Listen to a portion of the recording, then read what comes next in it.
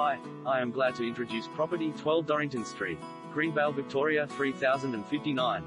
Single title no body corp. Soak up the good life in this contemporary, double story, three bedroom townhouse situated right across from Ponds and Aitken College. Low maintenance, open living and high end finishes all around are this property's biggest selling points, not to mention the location itself being right near the Greenvale shops and local parks and schools. This lovely home presents the perfect opportunity for someone looking at downsizing, the first home buyer, or an astute investor.